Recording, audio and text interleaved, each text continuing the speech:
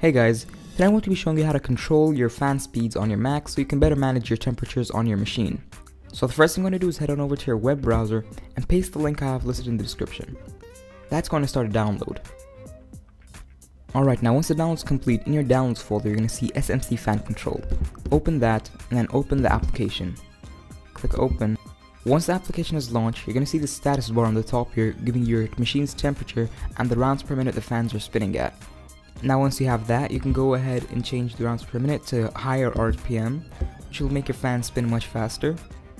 Or if you want to go even faster than that, head on over to preferences, set them to max, and then add a new preference and call it max.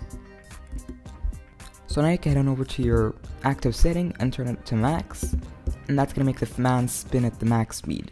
So yeah, that's pretty much it. Thanks for watching this video guys. If you found it useful, make sure you comment, rate, and subscribe. I'll see you later.